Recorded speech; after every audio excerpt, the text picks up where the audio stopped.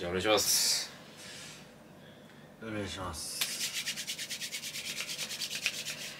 ダッシュでいこうぜ。どうも武田でございます。刻んでいこうぜ。あちょー。いやーマジできつい。本当にきつい。昨日の三塚孝也の陸上人生を教えてくださいの動画あったじゃないですか。素敵な動画でしたね。僕のたった一言で広告全部剥がれました。なんて言ったのまた剥がれるよ。やりあ全部剥がれてなんか知んないけど YouTube 上のバグでコメントも全部消えてます。えマジでやばい。本当にごめん。僕たちも痛いけどどっちかといったらたくさんコメントしてくれたみんなに申し訳ないしまあ三塚君にもごめんだよね。せっかくいい動画でコメント欄もすごいあれだったから。いやね今 YouTube はねコンプライアンス厳しいから僕たち下ネタめっちゃ言いますけど入れましょう P は。もう絶対下ネタ言わない。昨日せ来た えじゃあ喋っていい？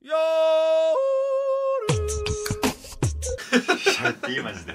ごめんなさい皆さん申し訳ないです。これは。視聴者と三塚君には無理で。動画の1本のお金なんてどうでもいいんでぶっちゃけ。せっかく伸びてたものが止まってしまう恐れがある方が僕は言いたいと思ってるんで。何したうん、ということなんですけれどもタイトルサムネイル的には全く違う動画になってるんですが YOSHIKI のメンヘラ動画じゃないんですよ。今回も YOSHIKI さんにナイフ懐から。追い打ち。やばい追い打ち。警告。電気代払え。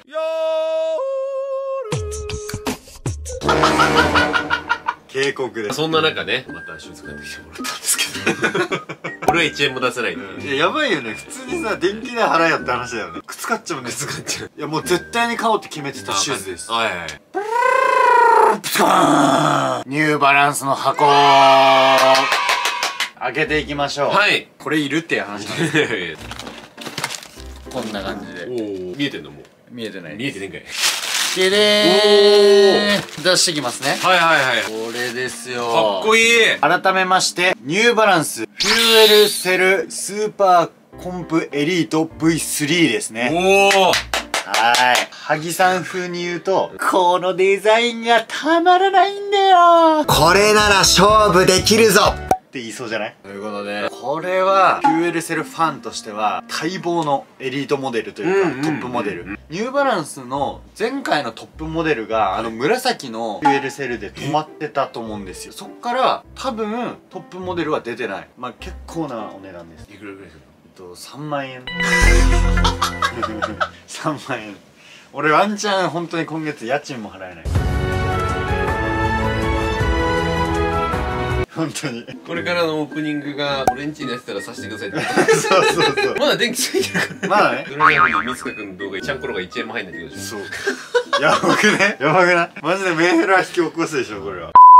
短距離目線的にはすごい気になってました。まずね。パッと見はいどうぞどうぞパッと見。まだ履いたことないんでちょっとわかんないんですけど、まずアッパーが薄いというか、まあ、しっかりレーシングモデルになっててなおかつ終端が伸縮自在ですごい良さそうです。それだけ。もう今葉っぱしか埋めてない。ごめんごめん俺が悪かった。遮って俺が悪かった。はい。何？で裏裏がすごいカーボンがこうむき出しになっててすごいかっこいい感じになってます。えそんな盛り上がらない？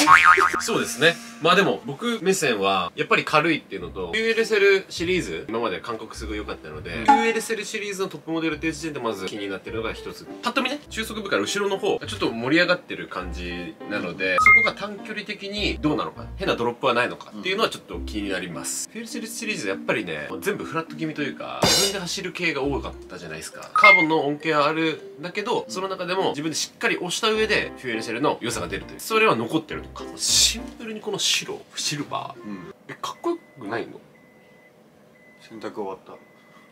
めちゃくちゃかっこよくないですか？マジかっこいいよね、うん、だから紫と緑だったじゃん俺たち今まで扱ってきたのって、ああはいはいはい。紫。あれは全然かっこよくないですよ。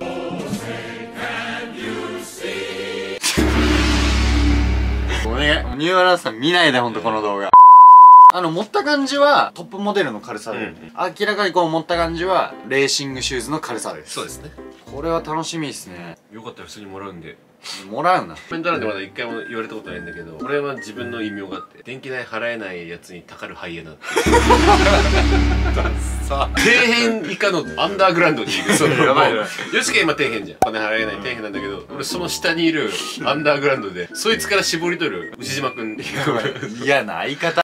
ダッシュで行こうぜやってまいりました。家で見るよりも日の光に当たるこの純白な感じ。めっちゃかっこいいね。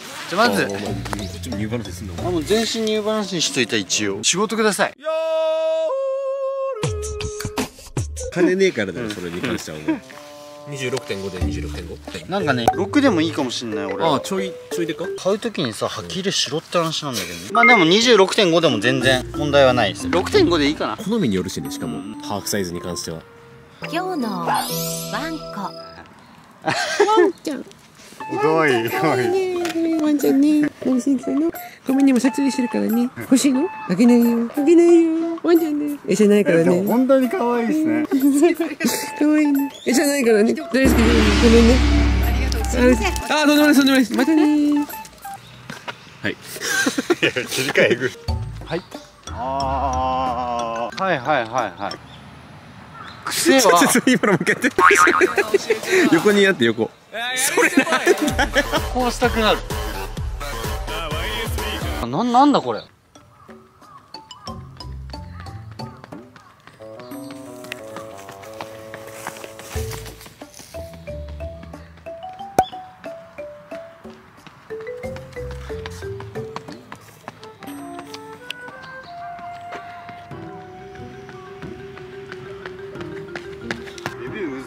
レビュー難しい。素直なまま。レビュー難しいってさ普通な時じゃん。重心の位置ですね。重心の位置重心の位置が重心のちょっと後ろ？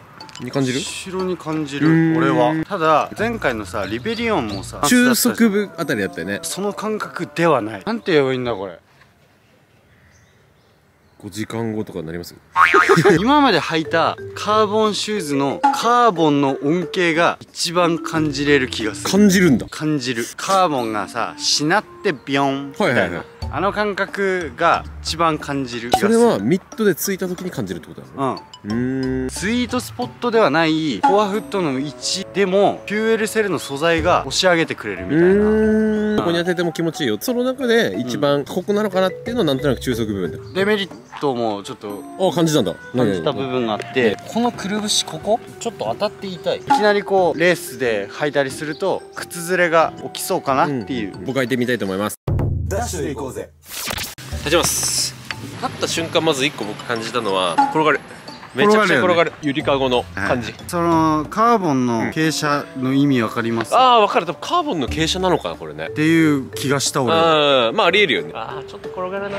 なるほどね。で転がるからこそ確かに重心後ろになるっていう気分も分かる、ベーパーに似てないですかちょっと。あ似てると思います。ちょっと似てると思った似て本当思った。でこの転がりって、うん。やっぱり長距離の走りの際にうん。自動化するにはめちゃくちゃ大事なことだと思うんですよ、うんうんうん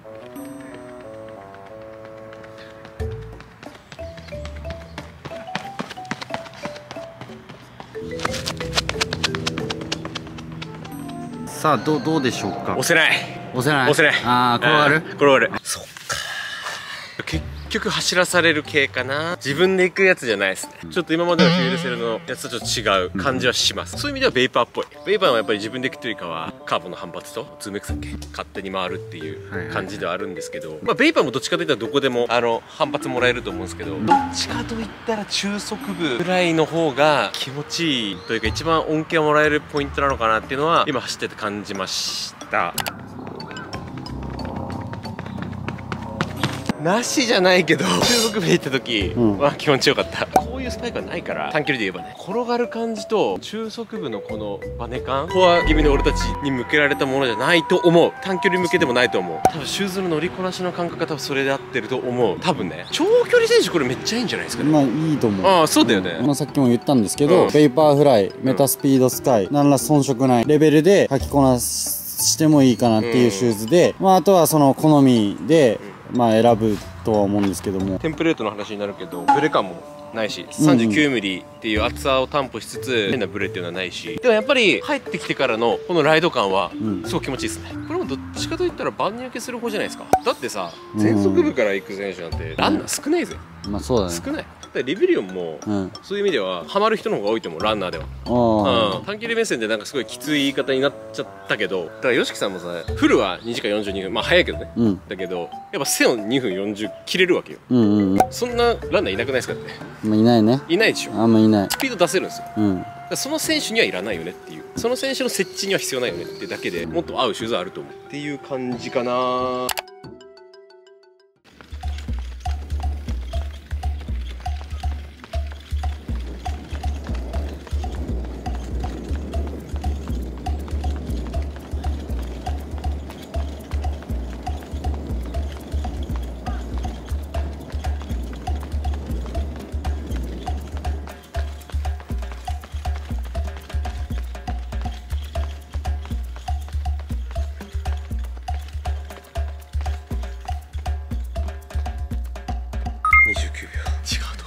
と思う俺はね短距離的にはね。短距離的には。まあでも30秒を出す上でのシューズの恩恵としては良かった。ただ当てたいとこはそこじゃない。俺も200やっていい？もちろん。ダッシュで行こうぜ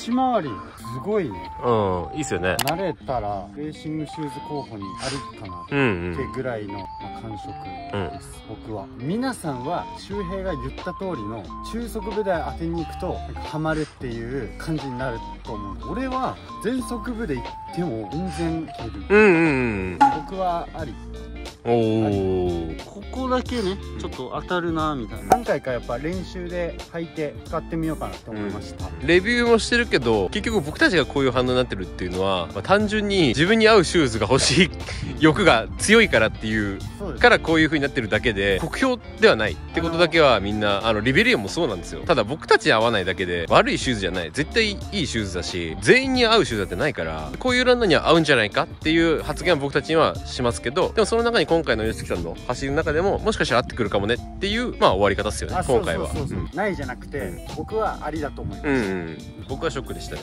僕は期待してたので。短距離はさもう完全にこうグイって押したいうん。からこの中でやっぱ足回りがえぐいんですよ、うん。市民ランナーは感動すると思う。今回のシューズレビューははい QL セルスーパーコンプエリート V3 のレビュー動画でした？この動画がいいなって思った人はチャンネル登録高評価コメントよろしくお願いいたしますそれでは次回の動画でお会いしましょう。バイバイ。モバポーズ。最後までご視聴ありがとうございました。それでは皆さんまたのご機会に。さようなら。あ